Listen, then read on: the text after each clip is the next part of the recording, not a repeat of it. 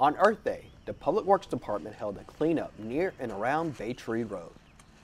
This was one of the department's monthly cleanups, and it had volunteers for this event from the Valdosta State football team. The cleanup lasted nearly two hours, and the group collected several large bags of trash. We thank all the volunteers for coming out and hope to see more volunteers in the coming months. For more information on how to volunteer, contact the Public Works Department.